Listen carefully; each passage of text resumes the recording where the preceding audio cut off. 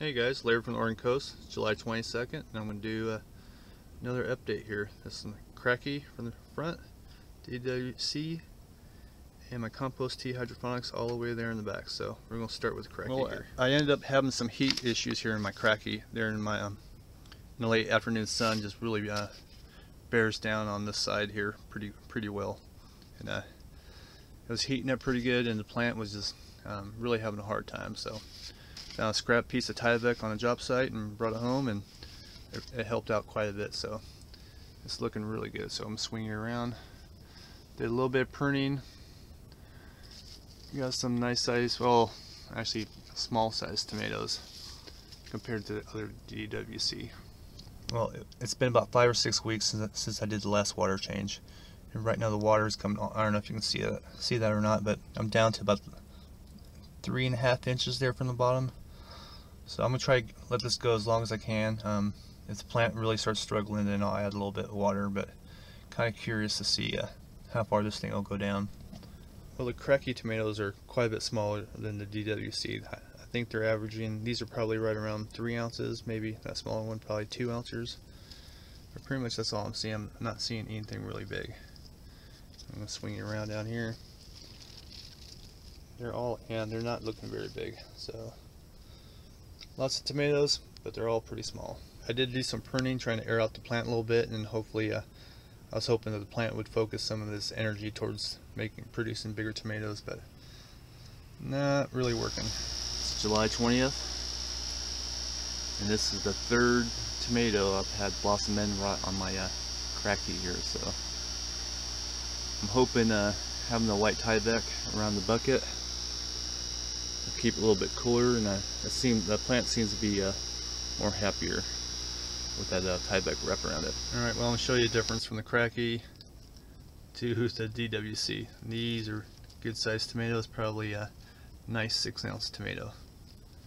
Really happy with the DWC. Some really nice sized tomatoes and I'm hoping I can catch Brock at, uh, I'm hoping this will hit a, a one pounder. I got the sure. air, air, compressor turned off for the video, so there's no bubbles in there right now, but you can see how the, the pink bloom uh, nutrients I've been using uh, stain the roots. But the roots look really healthy. I'm really happy so far with the DWC. So I figured uh, when I first started this one it would have done the best, and uh, so far it has. Done some uh, heavy duty pruning with this thing. So overall, man, I'll swing you guys all over, sorry about that. Overall, really happy with the DWC.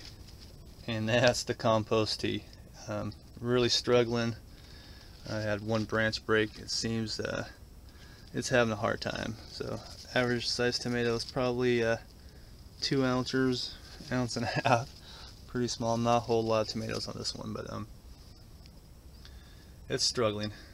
I, I figured it'd do well. I knew the compost tea wouldn't wouldn't do as good as the DWC, and I was kind of curious how how it compared with the Kratky, but uh, I was hoping to do a little bit better. But that's just the way it goes. July so. 21st and the first tomato winter here. So it's the compost tea hydroponics. I don't know if you can tell, but the color is really dull. It's not red and shiny like the what you expect, and uh, pretty uh, pretty small.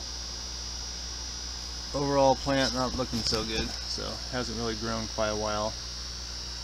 So Alright, we'll harvest, harvest these tomatoes and, and do a quick weigh. Two and one eighth ounces. Pretty small, that's that Smurf size or Hobbit size tomato there.